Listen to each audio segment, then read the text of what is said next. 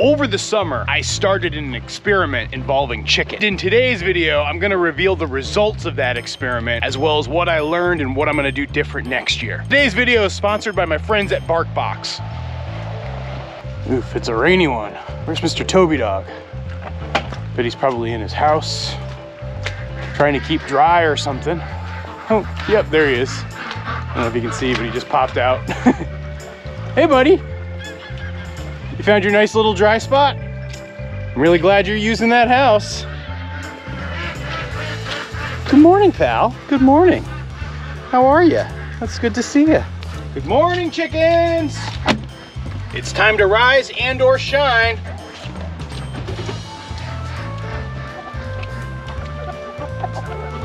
I will admit, ever since we culled out the roosters, the flock's gotten a lot smaller, a lot more calm. Uh, you can see Dottie here has been growing in her feathers. Her sister Blanche, if you remember about two weeks ago, was looking ragamuffin. Now she's looking beautiful. But of course, on a rainy day like today, the chickens aren't gonna be happy regardless. And to answer your question, yes, we have actually gone through our annual cull of our roosters, which actually relates to the experiment that I've been running. You know, earlier this summer, I decided to hatch out the chicken eggs that our girls were laying. You know, we had two roosters, and yes, I said had, General Washington and Alexander Hamilton. My name is Alexander Hamilton. And General Washington was a Rhode Island Red, Alexander Hamilton was a Bielenfelder, however you say that one. Those two fellas had a flock that included a Crevecoeur, a Columbian Wyandotte, a couple of Barred Rocks, a couple of Leghorns, a couple of uh, New Hampshire Reds, Plymouth Rock, a Black Cochin, an Ancona, you know, just a whole mishmash mix of lady chicken. And my idea was I want to have more laying hens for next year so that they can follow our cattle but I knew that in hatching my own eggs, I would produce a whole heck of a lot of roosters. And so the intention was to see, with this experiment, could I ethically raise good meat birds? And by ethically, I mean not raising the freakish Cornish cross, making sure that these chickens have a long enough life where they're actually experiencing the world, and doing something that would be cost effective for me as the farmer that wouldn't break my wallet, as well as produce a meat product that wouldn't suck. And so yeah, earlier this week, I took the day off from work and culled all the roosters. I actually did it all by myself. I've done butchering here on the farm now for several years, but this was the first time I ever did it all by myself. But it went pretty smoothly. Good morning, weird chickens.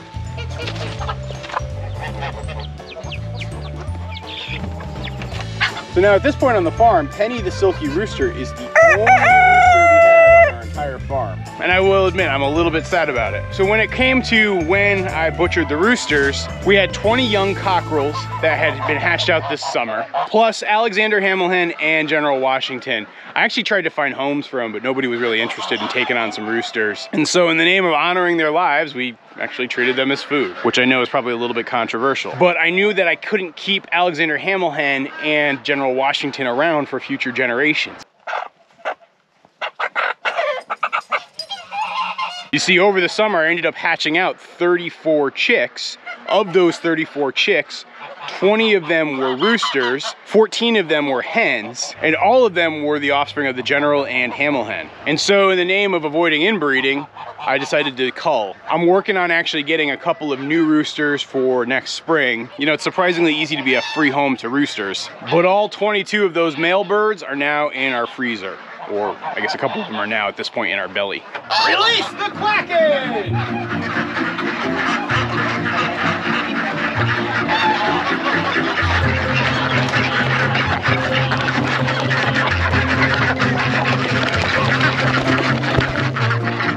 Every day that's miserable for the chickens with the water and the rain is a great day to be a duck.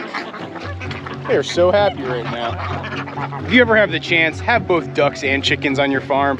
It's so fun to see them contrast and interact on the barnyard and just see how what makes one happy makes the other miserable and vice versa. All right, girls, out you go. So at this point, my large chicken flocks, I have two of them. I have the flock that you saw me open up earlier where the majority of the chickens are. And then I have these four ladies who are holdovers from the old flock who never quite separated appropriately. You see, over the last, I don't know, two months or so, Alexander Hamilton and several of the older females ended up moving in with the younger ones, and they ended up living inside the brooder house. But General Washington and actually these four ladies ended up staying inside the chicken tractor coop that I have. At some point in the next week or two, I should probably sneak in in the middle of the night and take those ladies out and put them in with the rest of the flock. And if I give it a couple of days and I do that, they'll ultimately integrate in and become one big happy flock together, especially because there are no roosters and there's plenty of space. I don't expect much like in terms of violence or issues. What are you chewing on there, Goose? Is that a wood chip? All right, you do you. In case you guys are wondering, I have not done my cull of the geese yet this year. As I've described in other videos, I'm still grappling with the issues related to the hoop house and what to do with it and determining how that whole situation gets resolved will determine how many geese I can keep over until next year. Hey, how's the buff crew doing? Yeah, you got Lenny and the Outsiders, plus Bruce the Goose and all his ladies, all as one big flock. Now to give you a little more background on the experiment, I pretty much raised those chicks just like I'd raise any other birds. For the first four or five weeks of their lives, I gave them chick starter feed, but then the remaining parts of their lives, they just got regular old food rations just like our other birds, which are a combination of layer pellets, scratch grains, cracked corn, a little bit of duck feed, mealworms, you know, just a pretty good mix of diet. But I also give my birds overall pretty sparse diet when compared to what I do for winter because I also try to force them to forage and go through the pasture and eat all the bugs and insects and weeds and all the good stuff that's out there. And so for most of their lives, these rooster chicks, they spent a lot of time wandering around this farm. So I guess to look at one part of my experiment of wanting to raise meat chickens that had good, happy lives, I actually feel like I very much checked that box. They spent their earliest days in the brooder. As they got older, at about, I don't know, two or three weeks old, they started to have outdoor access. At four weeks old, they had even more outdoor access, and then by six weeks, they were completely free ranging. And they were born in mid July, and I ended up butchering them in early November. I don't know, this video will probably come out a little later than that, but the actual butcher date was the beginning of November. Now, let me break down all the numbers for you guys, but first, I gotta go run a quick errand. So, you know, just because Toby Dog is a working dog doesn't mean he doesn't like to have fun things. And by fun things, I mean stuff like toys and treats and stuff to make his life as a dog that much more enjoyable. So that's why lately I've been working with BarkBox. And it looks like we just got our latest box here in the post office. Toby Dog's gonna be so excited when I get back to the farm. Hey, Toby Dog, I got a surprise for you. I know you're so excited for it. Every time you see this cardboard box show up, you know what to expect. Oh boy. Toby, this one's a special Spider-Man bark box. It has a nice Spider-Man disc, a little squeaky ball, a chewable Spider-Man newspaper, a little Spider-Man doll. Toby, you don't know what to make of these squeaky toys, do you? Livestock guardian dogs usually don't get squeaky toys, but I think Toby can handle it. Ooh, and then some spider bites and chicken sticks. The dog treats that they've been sending him from BarkBox are like his favorite. You want one? Yes, you do. Oh, yes, he does. BarkBox is a monthly delivery of unique toys and treats and chews, all with one goal making your dog happy. BarkBox's toys are made exclusively in-house and you can't find them anywhere else. And Toby Dog goes crazy for the treats. Each BarkBox is one of a kind and tailored towards your dog's size and allergies. And each month's BarkBox has a special theme and free shipping. Like for example, this month is all about Spider-Man. BarkBox has three different subscription options, either 12 months for $23 a box, six months for $26 a box, or one month for $35 a box. Toby's never seen a frisbee before. I don't think he's quite sure what to make of it. The chickens are definitely curious too.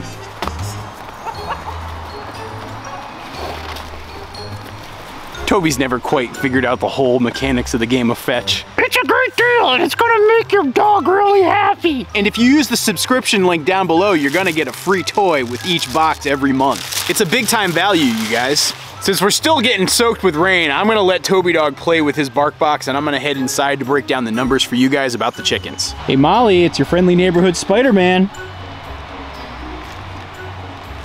Aw, you want Spider-Man to pet you?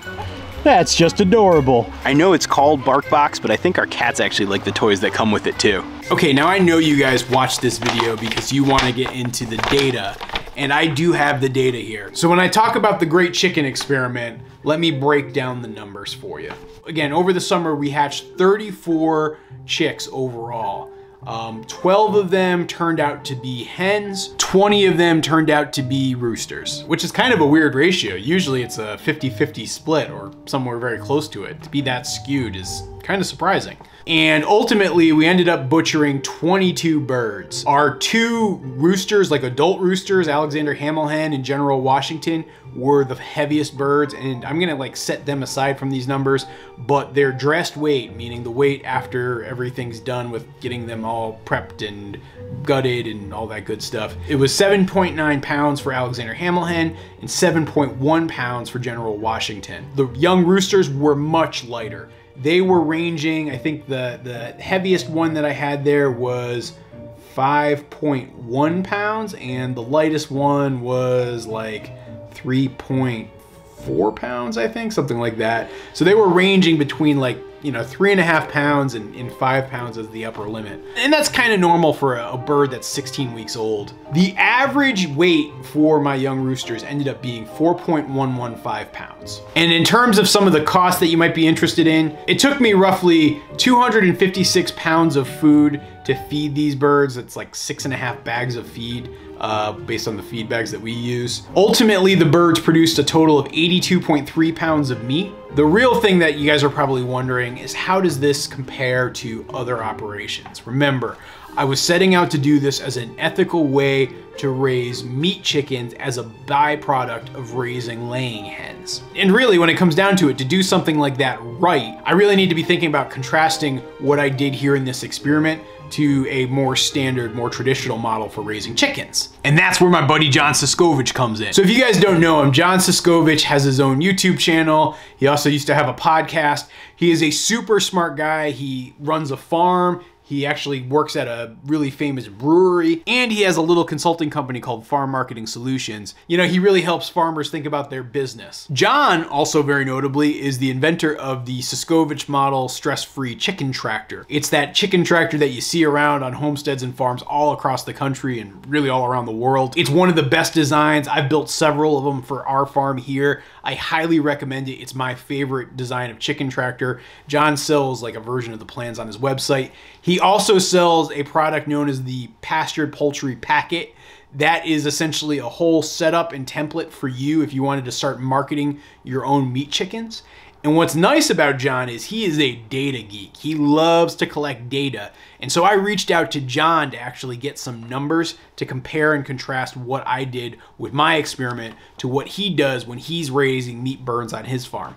His model is much more traditional. He's raising Cornish cross chickens. He's doing them for about eight weeks. He keeps them in his chicken tractors and moves them along every day. So you are getting very good organic pasture raised birds, but you're not getting birds that are running around completely free range like we had at our farm. And so what I decided to do is take a cost comparison per bird of one of John's meat birds versus one of my meat birds. You know, John pays $1.43 for each chick from a hatchery. Meanwhile, you could actually make the case that my chicks were free because I just took some of my eggs from the farm and chucked them in an incubator.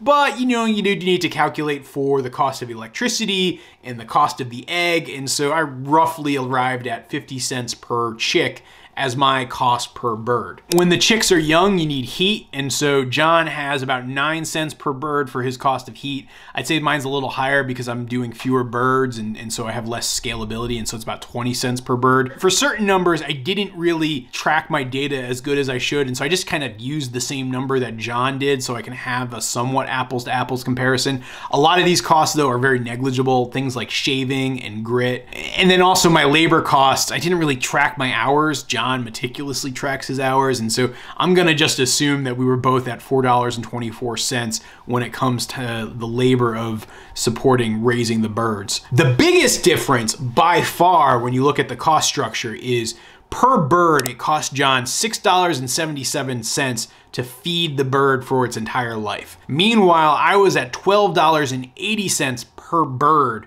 over the life of that bird. That is a pretty sizable difference And I know that that's going to ultimately impact the bottom line cost that I have to deal with here when I get to the grand total. If I'm actually looking at our feed costs, like as we're buying per bag of feed, it's actually very, very close, you know, what John pays versus what I pay. So that is apples to apples. I think the biggest difference is the fact that John only raises his birds for eight weeks.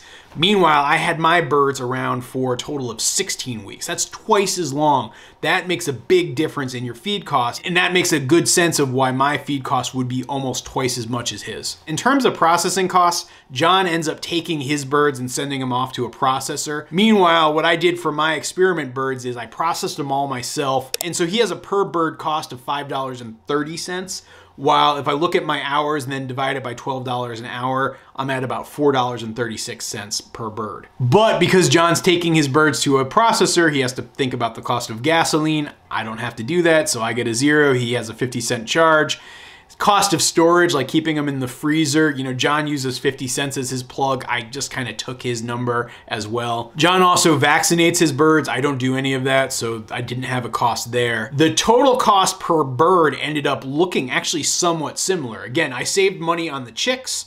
I saved money on the processing, but I ended up spending a lot more money on feed. And so while John's birds cost $19.14 to produce an average bird, mine cost $22.68. John's average weight per bird was actually much higher than mine. Even though his birds were only eight weeks old and my birds were 16 weeks old, they were 4.832 pounds per bird on average for John's birds. Meanwhile, mine checked in at 4.115 pounds per bird. That's where those Cornish cross birds make such a big difference to your business model. And so if you take all of these costs and you take the average weight and ultimately get it down to what's it cost per pound of meat, we're talking about $3.96 per pound from John, while meanwhile my little roosters cost $5.51 per pound of meat. Admittedly, that is a very sizable difference. And so if I'm thinking about my experiment as a business enterprise, I think it's kind of not gonna hold up. You know, when you look at John's costs, right, it's pretty reasonable to charge your consumer $5 or $5.25 per pound for what you're selling to them. To make a similar margin, you'd have to charge somebody like, I don't know, six or seven bucks per pound per bird. That makes a huge difference. And so over the course of this year, I hope I have addressed a burning question that many of you had of, is it more economical to just raise roosters for meat or is it better to go the traditional route to raise your meat birds? If you're just looking at the cost side of things, the meat bird approach is absolutely the better approach. Now, the other question some of you might have about the meat birds that I raised is, how was the actual meat? If you think about John's meat and what his birds taste like, or probably taste like, because I've never tasted them specifically, but I've tasted birds that have been raised in a very similar fashion, it is very much the big, kind of meaty chicken that Americans have grown used to. It tastes like chicken, it tastes great, it's got nice yellow fat to it, it, it's a good, good product. If I think about my roosters though, they were a little bit different. They were most definitely less meaty. Most notably, the breast portion of the meat bird was much less pronounced compared to, like I say, a traditional Cornish cross. But I actually think I preferred the flavor of our birds. It wasn't tough, it wasn't stringy, it was still very good to eat. You could easily roast it, you could easily cook it like on a grill or something. But I found that it had like the more complex flavor of like dark meat than say like a traditional Cornish cross chicken. I personally really like that. I think some people really like that in general. I know it's not for everybody though. I think the major contributors there are number one, genetics.